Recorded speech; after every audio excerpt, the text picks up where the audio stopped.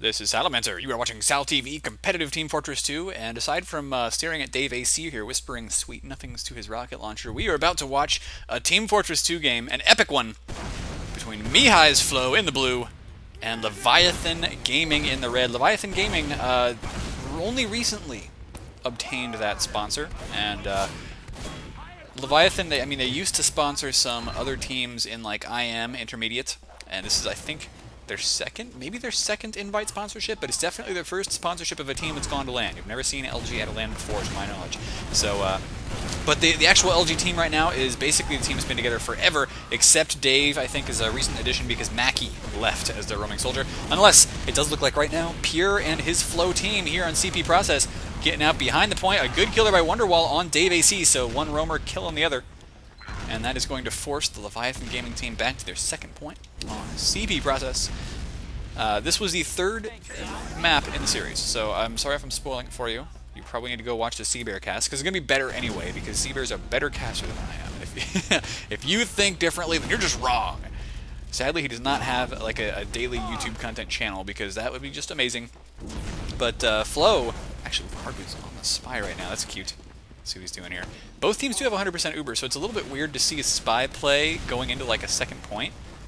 Um, but they don't notice he's here, so I, this I mean, this could work.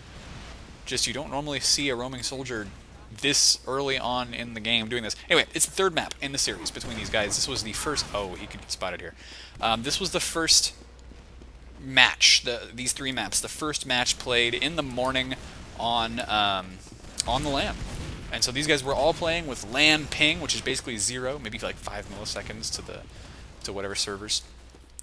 And it's going to be pretty awesome to watch how they handle it. Right now, uh, Leviathan, I wonder if they're realizing yet that there is going to be... Oh yeah, they definitely noticed a spy back over there. So they just got the kill there. That was Clockwork diving in to take down Harblu on the spy. And really there's not a lot of spy can do against the scout who's found him out.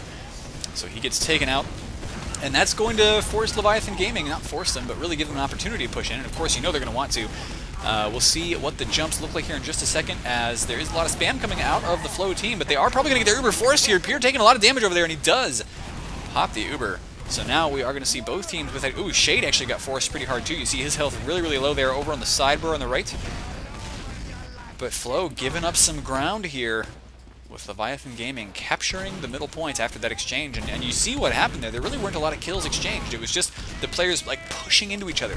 And because there was always a, at least a one-player advantage for Leviathan, the Flow team just backed off. They were like, okay, rather than lose players and lose like two points in a row and be backed up to our last, it's better to just retreat, only lose one point, and we're guaranteed to lose it, but at least we can set up a proper defense on the second point. But Sizer coming in from the side immediately takes down Shrugger, and Ruin is now down as well. There's no scouts left to the Flow team, and actually the Flow's scouts are amazing scouts. Ruin and Shrugger doing really well uh, all season long, like top fragging most of the time, I think. Um, and so Leviathan Gaming has actually lost everybody, which is kind of surprising. But Clockwork coming in, getting a two kill here to clean up the medic and soldier combo. Pure and Harblu both down and he is he looks like he may want to try and uh, do some deathmatch against three people at once here. He is going to get taken down finally. Ruin and Shrugger again coming out and killing him, getting that revenge kill there. So Leviathan Gaming just now respawning, Pure doing that at the same time. It looks like uh, nobody's really captured that second point, so Flow going to sit back on it. Wonderwall actually in a nice little ambush position here in the sewers.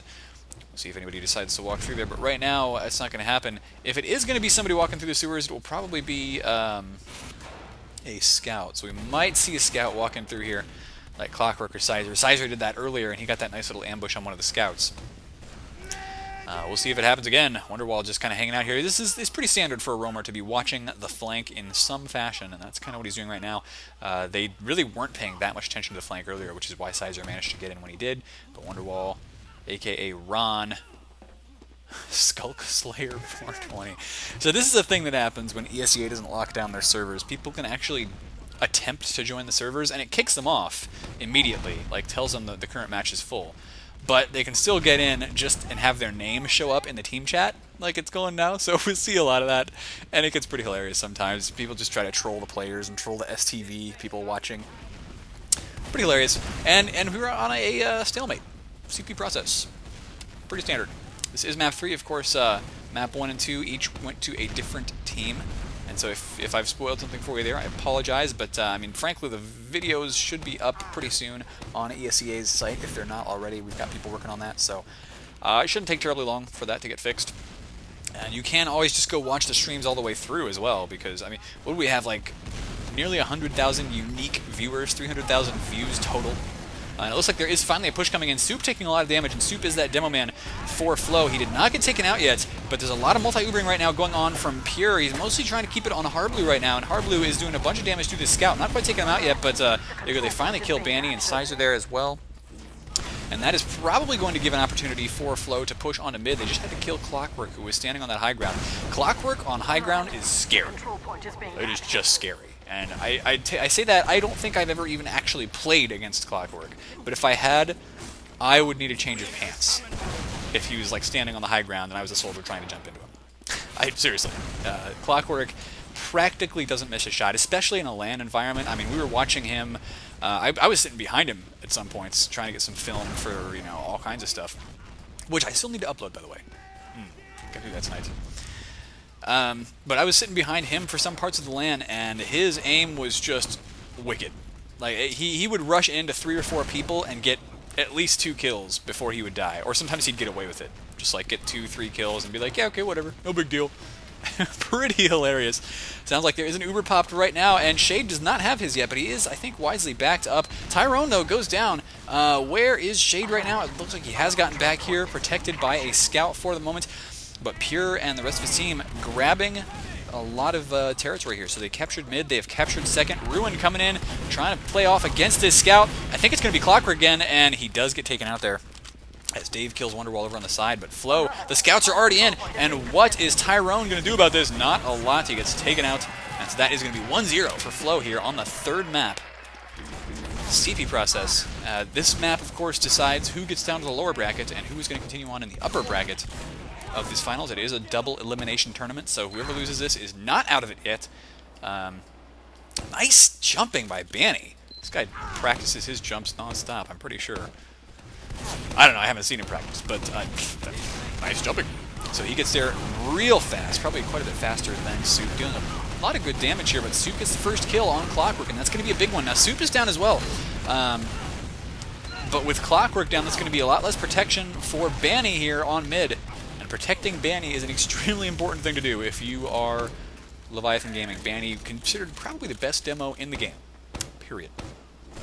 He's going to start laying down some sticky traps here, just trying to help his team capture that middle point. They do manage to get it. Pure has gotten back to the second point. He's being protected right now by Ruin on the scout. Ruin had a, a fantastic LAN. His uh, his kills, his damage output were just phenomenal. So I'm going to watch that for a little while as he does take a lot of, uh, a lot of heals there from the med, temporarily anyway. But he deserves it. He was he was defending the guy. And Flow making an interesting push here. They find Dave AC uh, caught out of position, and the entire team practically collapse on him. They don't want to give too much uh, opportunity to Leviathan to maybe get a push around them, though. And they do actually pop Uber. Interesting that uh, they did that, because now there is a little bit of a body block situation going on in here. A nice Uber situation for Leviathan. It is just now fading away. Harblu actually gets taken out, but not before he kills Clockwork. And Sizer's down as well, so no scouts left for, uh, for Leviathan this time around. And losing your scouts as, as, either one of these teams, where both teams really rely on those scouts to be some of their best deathmatch players, pretty important. Uh, you do see that Leviathan is losing practically everyone. Shade trying to retreat. Nobody's found him yet, and he does manage to meet up with Clockwork, who I gotta tell you, Clockwork will probably protect him pretty well. But if you lose Clockwork and Sizer and you're Leviathan Gaming, it's time to back up. Uh, and sometimes you'll see maybe, you know, Dave or, or, Tyrone sacrifice themselves so that Shade can get away like they did just then. But uh, Flow in a really nice position right now. They've got a, just a tiny bit of maneuver advantage. And Banny out of position here. But actually, is he? It looks like maybe he was just kind of being the vanguard for this push. No, he definitely did get maybe a little bit too overextended there. Banny down now, so there aren't going to be any more sticky traps to defend this point. It is just going to be up to the heavy. Right now it is 6, now 5 against 3 with Sizer on the heavy doing a surprising amount of damage, but Shade did get taken out. There's an invincible soldier jumping in, and there is no Uber to counter this. There really shouldn't be a problem here for Flow to take that point, and they are taking it with their scouts right now. Harblu just finishing off Dave AC, and I gotta tell you, I'll go back to the Dave cam a little bit here. There you go. Because Dave is a solid soldier.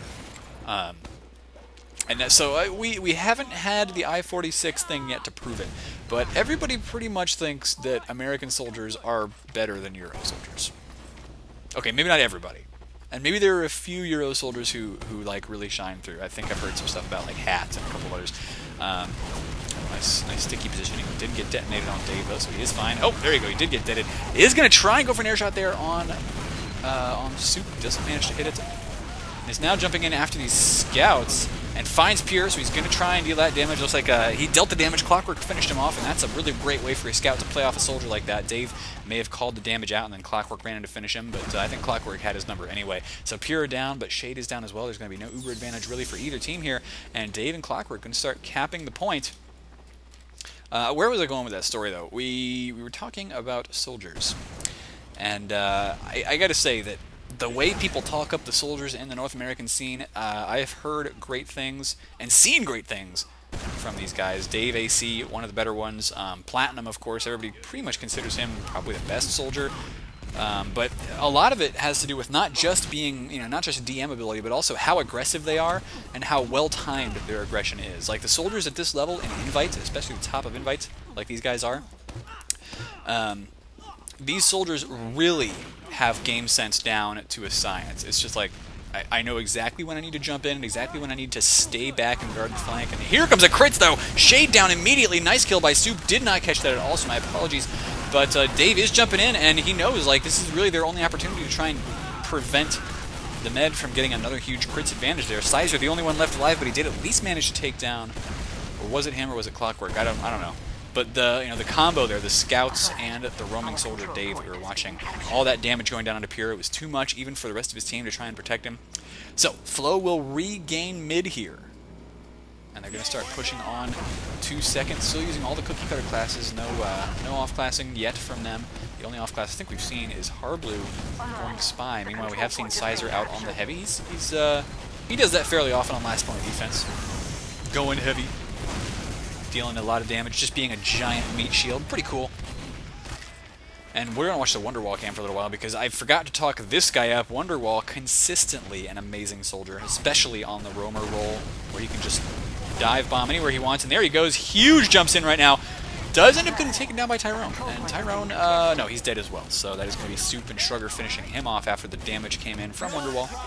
And that's, that's one thing you'll notice here. Wonderwall doesn't always jump in to get kills jumps in to maybe do like one rocket worth of damage and force the enemy team to watch him. You saw that Tyrone and everybody else standing over there was pretty much just staring at Wonderwall as he jumped in, and that gave a lot of uh, opening for the rest of Flow, the scouts especially, to sneak up and take a lot of uh, a lot of ground while they were worried about the jumping soldier. And I mean, if you don't pay attention to the jumping soldier, what's going to happen? You're going to die.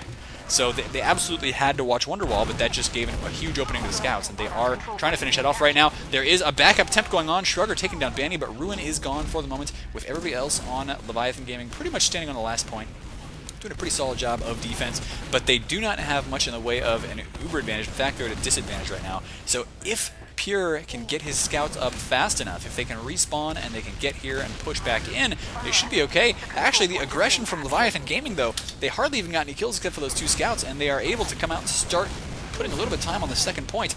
There is an Uber out of Pure, but I don't think it's going to be ready in time to actually get here and uh, cap the last point. Maybe it will. Shade not building Uber at the maximum rate right now. Uh, and here comes the Uber Shade, only at 60%. No, so it was not ready at all. Leviathan may end up going way down here at the half. Sizer on the heavy, but he's getting focused down right now. He's only got 85 health left. Uh, he actually is alive still. Still up here dealing a lot of damage to that minigun. He does finally get taken down by Soup. And more and more players dying now for our red team. It's going to be Medic versus Medic, but that is going to be halftime. Mihai's Flow bringing it up 3 to 0. And remember, they do play to 5, so Flow looking really solid here on this third map. So Leviathan Gaming not feeling too happy about that, and Banny um, somehow flubbing that rollout. That's not an easy one to make, but he did not manage to get the, uh, the little bounce there that sometimes you can get on these maps. Still, he's there really fast, dealing a lot of damage to the players coming in through that choke point. And getting up on the high ground, he's got to be careful about the soldiers jumping in, because soldiers, I mean, they have a field day on that high ground. It's so easy for them to jump up there and get a lot of damage done. Banny trying his best to defend Shade, but Shade does go down. Flow sort of winning this mid fight so far, but Sizer's got a lot of health left, and his fellow scout even more. Clockwork at 101 right now. Soup, it's going to be him against two scouts, and I got to tell you, no, sir. One demo against two scouts, even if one of those scouts has like 8 health, that is just not going to happen at this level. Skulk Trag. Don't even know what that means. He's a skulking scout. I don't I don't know this particular meme yet. Maybe I gotta ask these guys because uh, probably something I should know. And Leviathan Gaming are off to a decent start this half. It is still 3 to 0 though. So they're to need 5 points. Well, they're to need 4 at least to win this. Um, 5 to put it away outright. 4 because there's 30 minutes per half. So if they get 4 points, their opponents don't get any, and they just run the timeout, then that would actually win it for them as well. But that's a really tall order here. Especially because Process, the last point on CP Process, it's a tough one to push. And apparently White has joined the game. So that's cute. I don't I don't think that's very funny, though. He probably could have done a little bit of a better job. But, you know, maybe he was just looking for his five seconds of fame. Here comes another Kritzkrieg. Oh, countered perfectly by an Uber, though. Leviathan Gaming going to push right in. Beautiful air pipe there from Banny. They're going to try and take down this last Soldier and Scout. And they should be able to do that. There you go. Tyrone killing Harblu. Oh, Wonderwall is behind enemy lines, though. He's going to go straight in for Shade. Can he get him? No! No, he cannot. And I realize I'm being super loud right now. My apologies. Shade down to about 60 health. So that equalizer, well, I think it's the escape plan now. So this LAN, here's the hilarious thing, guys. This LAN was played like two days after the update that split the equalizer. So, and it also did a couple other things, like, you know, change the quick fix so that medics could um, be drawn along with their players when they were doing the, uh, you know, explosive jumps, like sticky bomb and rocket jumps. Um, so there, there's, some, there's some changes. Definitely some changes. The big one is the equalizer, though, that really affected comp play. So everybody's using the escape plan now, which means they don't get the damage boost, but they still get the same speed boost as they normally do, you know, for the health. Um, Banny doing some nice damage right now. He does take down Ruin, who tried to get back into that fight, but um, he was either going to be locked out or he was going to die, and he chose death there. Now the rest of Flow is thinking about retreating. Wonderwall does get taken down, uh, but I think Pure has gotten away at the moment. Dave was trying to go in for maybe a flank, and uh, he did get taken down by Shrugger. You see that in the kill feed. Probably don't need to read that to you.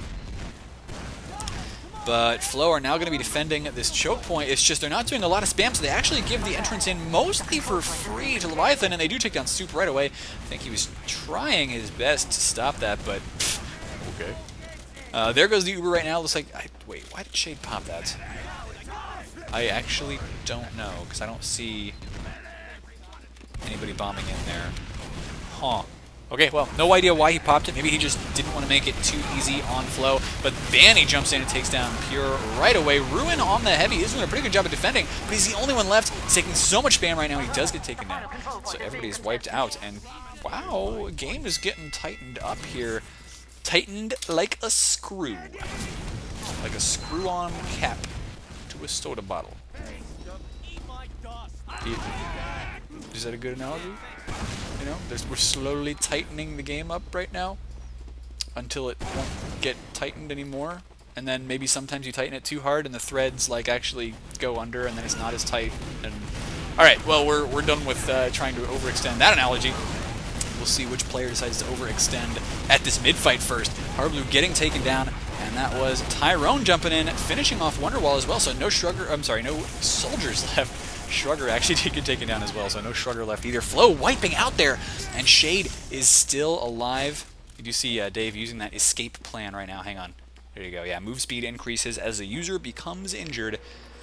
It says blocks healing while in use, but actually, so here's the thing, it doesn't block you from calling for medic when you have the uh, escape plan out, which is a bit of a change as well. It's not a huge change for comp, because when a soldier is hurt, he's just going to call, like, over his mumble or like if he's sitting right next to the medic, which in many cases they are, he's just gonna be like, "Hey, I'm hurt. I'm over here healing." The medic's gonna be like, "Yeah, sure thing, boss." Um, but yeah, it's kind of weird that you can actually still call for medic with it out now. The Uber does come in and really not doing a lot of damage. They do take down Shrugger though. Shrugger was on the heavy and that is going to be an important pick. Now Wonderwall down as well. There's just not a lot of players left here to really deal the damage. Clockwork and Banny getting taken out. That's going to be good for Flow on defense here. And Ruin doing a really sweet job of defense. Is he going to be able to stop this though? No. He's the only player left alive for his team. He did get knocked down.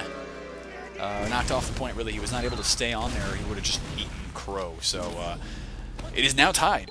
It is as tight as it's going to possibly get unless we get up to a 4-4 situation, which we always love here on Sal TV. And Banny looks like he did do a, a, much better job of that particular rollout, getting there super fast. laying down sticky traps over here on this... Uh, doorway. If somebody tries to come after him there, he will be nice and protected, but he does decide he's just going to start laying down the sticky spam. Meanwhile, jumping soldiers all over the place. Let's try and get an idea of what's going on at this uh, mid-fight here as blue team sort of backed up behind a lot of cover, but they are actually starting to be a bit of aggressive here, and Flow, once again, in the red, backing away through their choke. They lost Ruin, they lost Wonderwall, they decided they just didn't like their positioning and they didn't like their health. So the call was made to back off. That's going to give mid to Leviathan once again. Tyrone jumping through here with a scout, and they're once again, they're kind of given this ground for free. Pure had an Uber, and uh, decided the rest of his team just wasn't in the right position to defend this. So they, they just gave up the second point while they had an Uber. No, no, okay, here they come. So they did sort of, hmm, that's an interesting call. I think I understand what's going on here, is that they kind of made like they were going to retreat and tried not to even show like they were defending so that their opponents would overextend and then they would come in and try to, to re-Uber and stop the capture and get the kills, which they did kill Shade, but now they have lost almost everybody. Ruin, the only one left, he does get the kill on Banny. Nice kill. Um, problem is, Leviathan Gaming with four players live right now. Uh, the respawn timer on... Oh, nice kill by Wonderwall. Taking down Sizer with ease. So the respawn timer on the Flow team, not looking too great, but there you go. They do finally get up there, and there's not enough Leviathan players left to get the heals. By the way, I don't think I've ever actually seen, and maybe, maybe there have been a few, but I don't think I've ever actually seen a sponsor like send a rep to the ESEA LAN for TF2 until this season when the Leviathan Gaming rep came. Uh, and he was a great guy. He let us use his camera to get a lot of footage, not just of the Leviathan team, but of everybody. So it was pretty awesome to see. Uh, his name is Gatsby. He is an awesome dude. I cannot say good enough things about Leviathan Gaming sponsorship. Um, just awesome. So Leviathan now bring it up to four to three. It is four to three very fast rounds here on Process, which I gotta say does not happen all that often. Process usually a pretty stalemating map because this last point is tough to push, but uh, we're gonna watch this Banny roll out. It is impeccable as ever. And he is feeling pretty good right now because they have just come back against Flow from a 3-0 position to be 4-3. They're up right now. They only have to win one more round here, so can Flow defend their honor and stay as the one seed because they are the number one seed. Remember, Leviathan Gaming in this LAN was number four seed. So they were the last team to qualify for LAN. Dave taking some damage here. Yeah, he's doing damage of his own, but he gets caught up against the wall. Not a lot that you can really do in that situation except just die. You're going to die gracefully in that situation. Wonderwall chasing down Shade. Shade doing some decent damage to uh, to our soldier friend here using that escape plan. But he will uh, start capping, and so I think Flow is probably going to be able to set this up to another tie game here at 4 to 4. They've got a nice Uber advantage. They are going to be pushing against Clockwork on the Sniper and Sizer on the Heavy. So a lot of off-classing going on right now. We could watch the Sizer cam maybe, but he's pretty much just going to be standing here as a Heavy. Not the most interesting thing all the time. Um, Clockwork, on the other hand, it's going to be a slow, patient game that we play, but Clockwork has wicked nasty aim. So if he can get the headshots, he can turn this around. Banny actually saying, I'll turn it around for you. Don't worry about that. Harblu eating a rock or uh, eating a pipe right away, and Clockwork decides to just switch back off the scout. Pure getting taken down, Wonderwall taken down. Now Flow is killing Banny. That's going to be important because there's no stickies on the point. Uh, they've got a bunch of players here. Shrugger does take down Tyrone right up against the wall, but actually it's only Harblu left, and he just respawns, so he's all the way back at second point. That's a wipeout on the attack for Flow, and Harblu just trying to lay down some spam rockets to take out this scout, but not able to hit him up here on the... Uh, it's, it's totally still a Cyclops puppy. That's pretty much all it is. So, now of course Harblu's going to connect up with his med, which to make sure they build that Uber for a little while. And we're back to a situation where Flow holds mid, Leviathan Gaming holds second, and Leviathan thinking about making a, uh, a, what do you call this, map room push? I think they're going to do it. They've got the Uber ready to go. Oh, Banny eats a sticky trap from Soup, though. And that's going to turn that off right away. Dave down as well. Tyrone trying to get away from the scout, but he's not able to do it. That's three picks for the Flow team. Shade does still have the Uber, but he's going to have to think about popping that pretty quickly. Clockwork on a two-kill streak right now with Ruin and Wonderwall both down. But, okay, so Clockwork is grabbing med heals, and he's coming in up against Harblu. Harblu takes the Uber, finishes him off, and now Pure is in a fantastic position with the rest of his team here pushing on to the point. They are going to recapture second. They're going to have another opportunity to go in and capture last and tie this game up. with Leviathan Gaming once again back up to their last point. They're going to have Clockwork respawning pretty soon. And there is no Uber, so I... Eh, Flow, if they had the slightest opportunity to try and push in, they no longer have that chance. Uh, they're going to have to wait until the Ubers ready. They're going to try to make an even Uber push. Uh, at this point, they might want to try and suicide like Ruin or Shrugger. And apparently they're telling Shrugger to build right now. Shrugger, build! Oh no, it's actually Ruin. Never mind. Sorry. okay. Um, anyway, there's apparently there's a story about how uh, since Shrugger was relatively new to Invite this season, uh, might be one of the newest players on the team, or no, newest players in Invite, he was actually taking a lot of direction from the rest of the team and, and doing a fantastic job with it. Uh, but we will see how this attack goes. Right now, the Invincible Heavy is telling the story here, as the rest of the Leviathan gaming team is pretty much cleaning up the kills. Harblu was thinking about going for a back but he got spotted out there. That is not going to happen at all. Sneaky attempt, but the execution required the rest of the team not to realize he was there, and Leviathan, they knew. They knew. So they do grab that second point once again, and a complete wipeout for Flow means that actually Leviathan going to push forward with a heavy to cap mid. Tyrone making a nice little jump here onto the high ground, spam, and Sizer pretty much just using his uh, his gigantic Hoover vacuum cleaner here to uh, to vacuum up all those stickies on the point. Not the world's best camera angle there, Valve. Come on. Come on. Yeah, Leviathan's to have a nice Uber advantage here that Shade will want to use fairly quickly. They're to probably have to pop it fairly soon through this choke point so they don't take too much damage. Where are they actually? Oh no, I think they're coming in through maybe this side. Yes, they are. And they have not had to pop the Uber yet. They got to be careful. Shade didn't want to take too much damage, but he doesn't. He's nice and protected in this hallway for the moment, and they take down Wonderwall and Ruin. Actually, Flow is starting to fall apart a little bit here. They've got 100% Uber now. They could try and defend it. Oh, this is weird, though. They're not going to be able to defend the point. They did force the pop, so that kind of resets things. But actually, an Invincible Heavy still walking in here, and he's going to have 450 health out of this Uber. Pure is in trouble. He's at 27 health right now, and the enemy team is going to know it. They know he is hurt. Uh, Scout thinking about going in after him, but Clockwork actually gets taken down, so Pure will uh, be continuing his medic regen there, getting to a position where he's not feeling as threatened his team manages to hold on to the last point. This is getting really exciting right now because actually the Leviathan Gaming could put this game away. It is 4-3 at the moment. They can turn it into a 5-3 victory, which would put them into the upper bracket.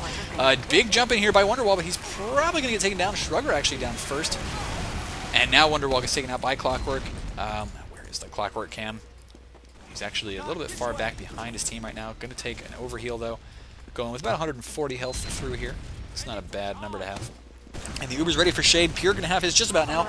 Um, Clockwork is going to start trying his aim out on a heavy. Not too hard to hit those guys, but he's actually getting focused really hard here by both Soup and the heavy. That heavy, of course, being Ruin. So a good focus there, but the Uber actually was not popped for Shade until the Uber was almost over for Pure, and that is going to tell the story right now. It is just hardly left alive to try and defend this, and he's is he going to get it? No! That is actually a win for Leviathan Gaming, GG called by Clockwork there first, and I'm sure everybody else called it too. Let's just find out. Everybody says GG. Being good-mannered here in esports. And of course, these guys were actually sitting back to back. That is how the TF2 uh, computers were set up at this LAN. But that means, of course, Leviathan Gaming moved on to the upper bracket finals. Not the finals. Uh, they had to they had to play one more match in the upper bracket. Sorry, but they did move on to the upper bracket where Mihai's Flow, everybody's favorite team this season, actually moved down to the lower bracket. Uh, I'm probably not going to cast any more of the games from ESEA LAN because, of course, you can find those on EXTV. But uh, I do want you guys to stay tuned to this channel because I'm going to have more awesome stuff coming at you.